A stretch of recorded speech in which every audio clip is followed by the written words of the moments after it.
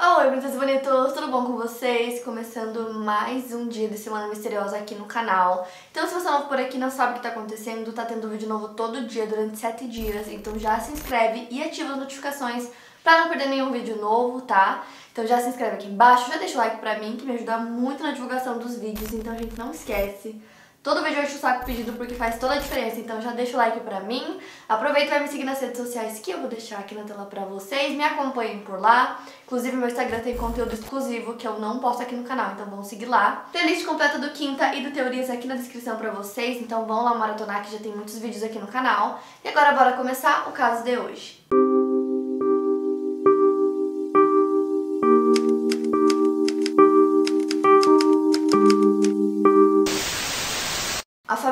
Mulhall era uma família grande que morava no sul de Dublin. Os pais eram John e Kathleen Mulhall e eles formaram uma família e tiveram seis filhos, três filhos homens e três filhas mulheres, dentre elas a Linda e a Charlotte. A Linda nasceu em 1984 e a Charlotte em 1991. Em 2002, o casamento dos seus pais não ia muito bem, a Kathleen tinha muito medo do John e por isso que ela não pedia separação. Algumas fontes dizem que ele era um pai muito abusivo e que os filhos acabavam presenciando esse abuso muitas vezes. E como a Kathleen estava infeliz, ela começou a ter um caso com um imigrante chamado Farah Swallenor, que ela conheceu em uma boate. O Farah era um homem com um passado bem obscuro, assim, ele chegou à Irlanda em dezembro de 1996 e conseguiu cidadania irlandesa em março de 99, depois que o Departamento de Justiça, Igualdade e Reforma da Lei quis deportá-lo do país. E para conseguir essa cidadania, ele alegou ser pai de uma criança nascida na Irlanda. Ele tinha antecedentes e suas condenações incluíam comportamento ameaçador, abusivo e agressão. Em 1997, ele abusou de uma menina chinesa de apenas 16 anos de idade que possuía deficiência mental e ela acabou dando luz a um filho dele, mas ela não foi a única. Outras duas mulheres disseram que tiveram filhos dele também e que ambos eram fruto de um abuso. Ele enfrentou oito acusações de agressão e desordem e uma delas envolvia abuso sexual. Ele foi condenado três vezes, mas ele nunca cumpriu pena, o que é a parte mais doida. Ele nunca foi preso, nunca cumpriu pena por nenhum desses crimes que eu citei. E além de todos esses, ele também era suspeito do assassinato de um homem chamado Ryan Murray, ocorrido em setembro de 1999. O Farah morou em diversas áreas de Dublin antes de morar com a Kathleen. E como eu disse pra vocês, eles estavam tendo um caso, então ela ainda era casada com o John e ainda morava com ele na mesma casa.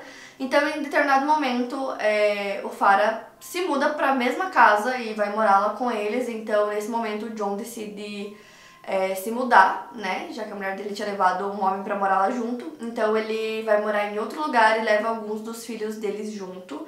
E aí eles moram lá por um tempo, a Kathleen e o Farah, e depois eles vão morar em Cork e em 2004 eles voltam para Dublin. E como eu disse pra vocês, o relacionamento que a Kathleen tinha com o John é, não era um relacionamento saudável, os filhos tinham visto é, o abuso que ela sofria várias vezes, mas como o Farah não era muito diferente, ele era extremamente abusivo também, ele era muito agressivo e era bem pesado mesmo assim a ponto dele agredir ela muito, várias vezes. Ele quebrou vários ossos dela. Então, pra vocês terem noção que era um negócio realmente assim absurdo. Falando um pouco sobre as filhas agora, a Linda foi presa em 1993 por furto e abuso de álcool, além de ser viciada em heroína. Em 2005, a Linda tinha 30 anos de idade e ela não concluiu a escola e ela estava desempregada morando com seus quatro filhos. Na verdade, a Linda nunca trabalhou. Durante toda a vida dela, ela nunca teve um emprego. O relacionamento que ela tinha com o pai dos filhos dela acabou e pouco tempo depois ela começou a namorar outro homem chamado Wayne, que mais tarde teria sido muito abusivo com todos os filhos dela. Wayne batia neles constantemente às vezes sem motivo algum, simplesmente porque ele queria, ele era extremamente violento. Só que depois de um tempo, a Linda acabou se cansando, então ela foi até a polícia e contou tudo sobre o abuso que ela e os filhos sofriam. E com isso, o Wayne foi preso. Ele cumpriu seis anos de prisão. E eu não vou me aprofundar muito na história dele, hoje eu quero focar mais na história das irmãs. Depois que o Wayne foi preso, a polícia descobriu que a Linda era usuária de drogas e os quatro filhos foram levados por um assistente social. E logo que isso aconteceu, o vício se tornou muito pior, mas depois de um tempo ela começou a melhorar e conseguiu controlar bastante os vícios, estava tentando é, parar de usar drogas e também parar com a bebida alcoólica. Já a Charlotte, ela tinha 23 anos e ela morava com os pais e também usava drogas e álcool. Ela foi condenada algumas vezes por alguns crimes pequenos e infrações à ordem pública, sendo acusada por danos criminais, mas recebeu o direito à liberdade condicional em outubro de 2005.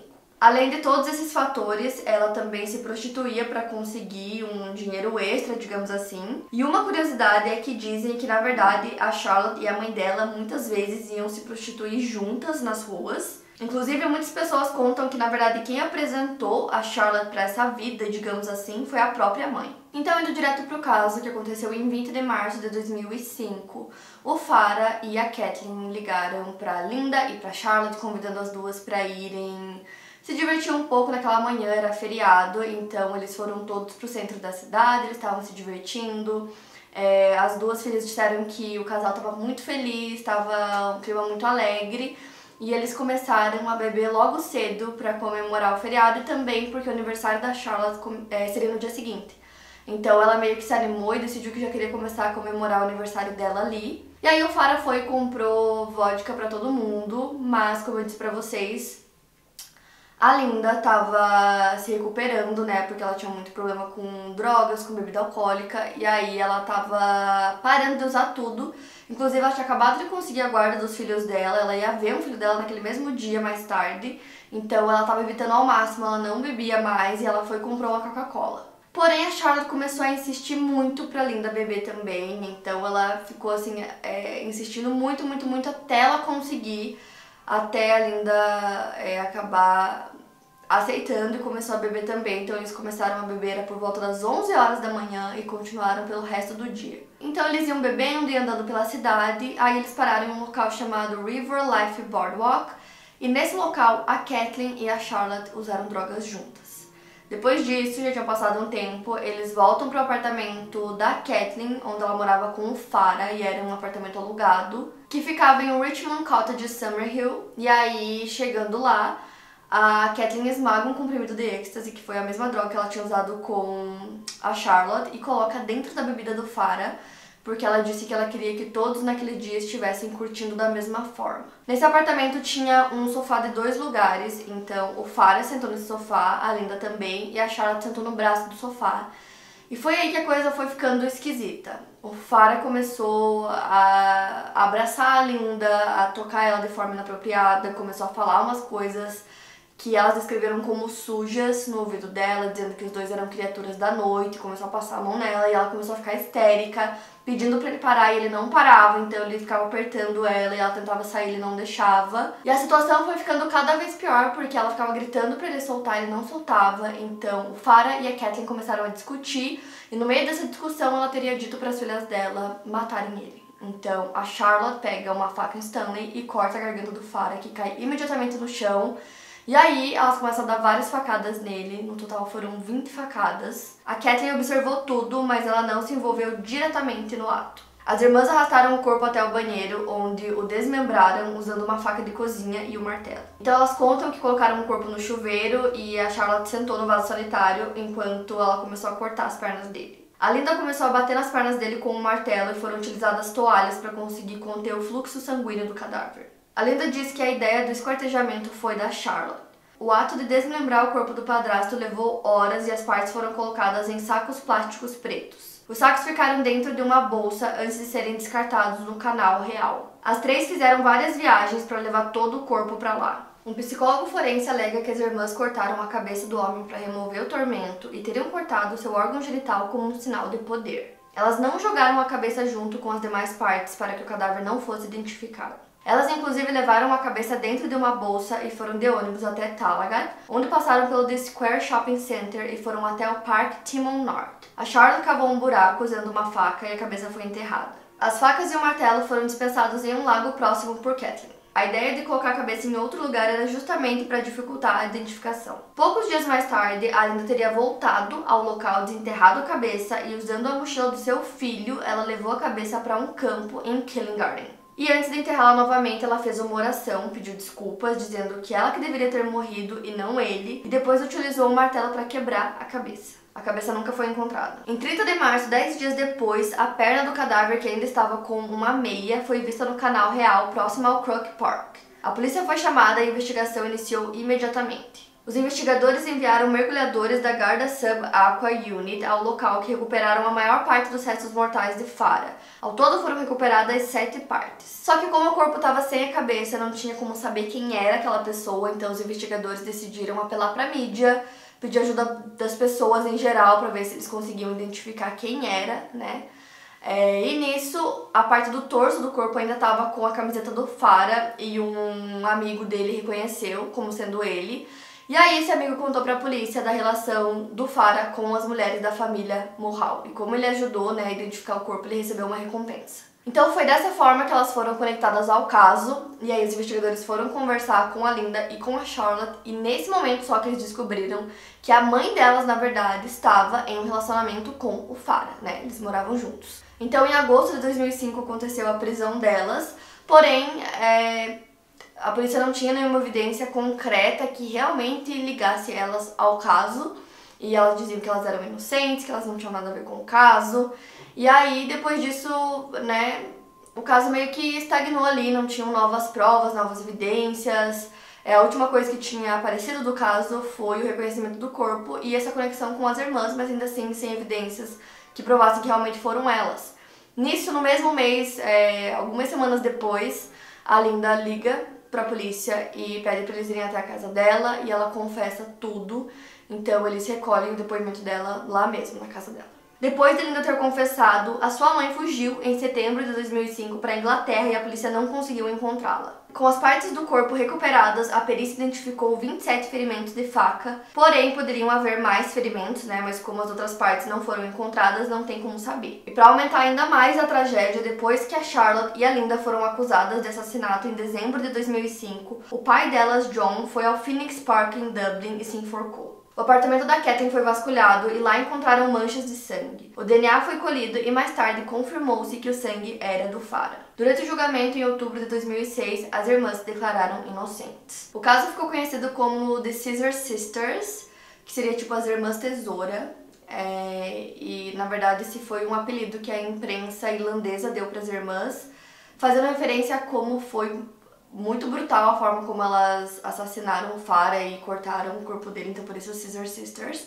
E na verdade, esse mesmo nome é o nome de uma banda nos Estados Unidos.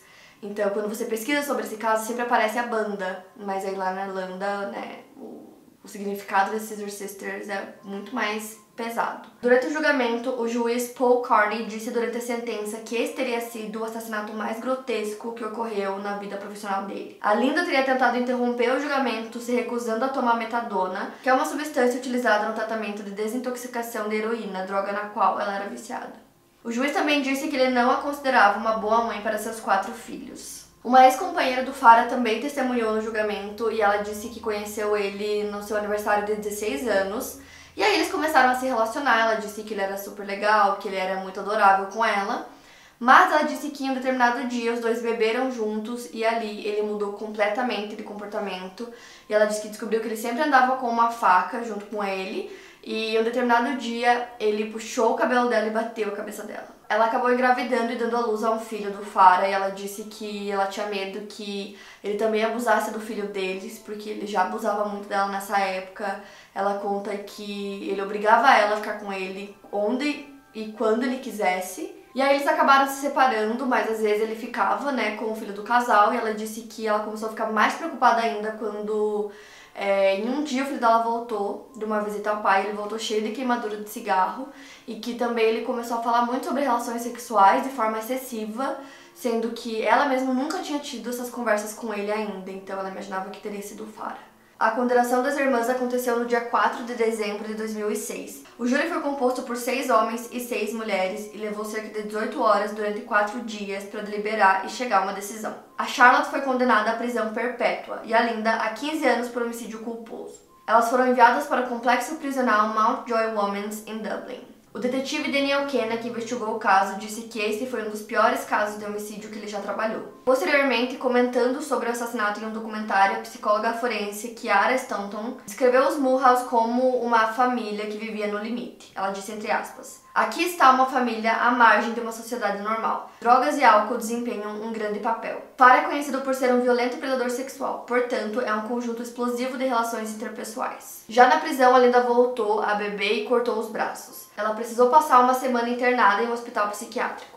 Em abril de 2009, ela relatou às outras presas que ela teria quebrado a cabeça do padrasto e distribuído os pedaços em latas de lixo no Phoenix Park. Um ano antes, em fevereiro de 2008, a Kathleen Mulhall foi trazida de volta para a Irlanda e acabou enfrentando várias acusações. Ela foi acusada de fornecer informações falsas à polícia sobre onde estava seu namorado e de esconder informações relevantes sobre a participação das filhas na morte dele. Além disso, ela recebeu a acusação de impedir uma prisão na investigação do assassinato. Ela confessou que ajudou as filhas a limpar a cena do crime para esconder provas e foi condenada a cinco anos de prisão em maio de 2009. Enquanto cumpria sua sentença, a Charlotte foi tudo menos uma prisioneira modelo. Em 2008, vazaram fotos dela segurando uma faca na garganta de outro prisioneiro, chamado Dennis Gibney, enquanto eles trabalhavam na cozinha da prisão. As fotos foram tiradas algum tempo antes do início de julho, quando Gibney foi libertado depois de ter cumprido sua pena por posse de drogas. Com isso, aumentaram a segurança em todos os presídios da Irlanda e Charlotte foi transferida para uma prisão em Limerick.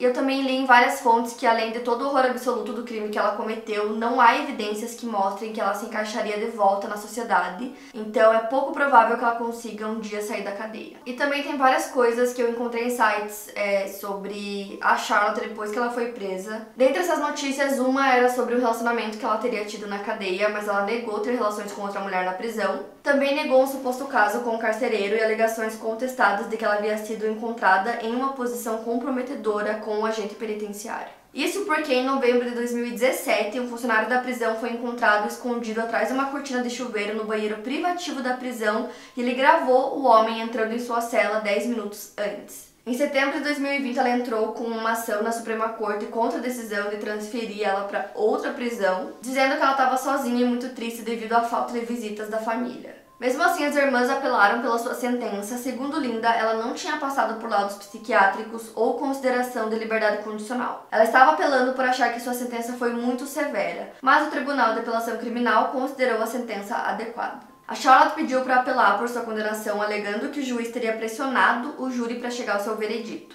Isso não foi aceito porque a defesa não teve objeções em relação aos comentários feitos durante o julgamento e o júri não teria sido afetado por alguma suposta pressão indevida. O James Mulhall, que é um dos irmãos da Linda da Charlotte, acabou assumindo a guarda dos quatro filhos da Linda depois que ela foi presa e ele já tinha seis filhos e ele confessou que ele já tinha roubado duas prostitutas, mas alegou que precisava disso para conseguir sustentar as 10 crianças. O filho da Charlotte, Damien, que nasceu em 2005, visita a mãe na cadeia toda semana.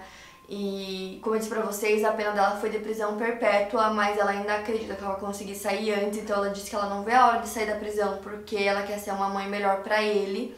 Então ele sempre visita ela, eles trocam cartas o tempo todo, algumas dessas cartas até foram divulgadas. E nessas cartas ela conta que ela quer começar um curso na universidade, que ela gostava de assustar as presidiárias e começar brigas na prisão. E ela também diz que ela odeia a irmã dela, a Linda, e que ela acredita que a Linda que deveria passar a vida inteira na prisão e não ela, e que só a Linda sabe a verdade, só ela sabe onde está a cabeça do Farah. Em 2018, a Linda saiu da prisão depois de cumprir 12 anos da sua pena e tinham vários fotógrafos lá e imprensa querendo falar com ela. Ela disse que não queria contar história nenhuma, não queria falar nada, só queria voltar a viver a sua vida normal. No mesmo ano, a Kathleen estava com insuficiência pulmonar e, segundo ela, os médicos disseram que se ela não fizesse a cirurgia o quanto antes, ela não iria aguentar. E eu não consegui encontrar se ela acabou fazendo essa cirurgia ou não.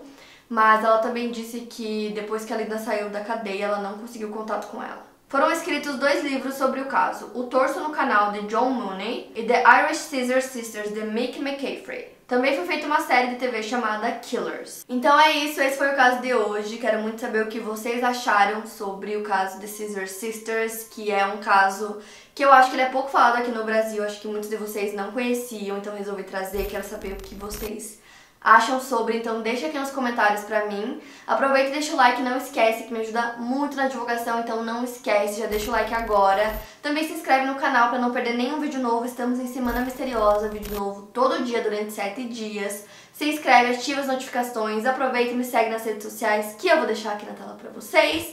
Vão lá conferir a playlist completa do Quinta, que já tem muitos vídeos aqui no canal. E é isso, eu vejo vocês amanhã.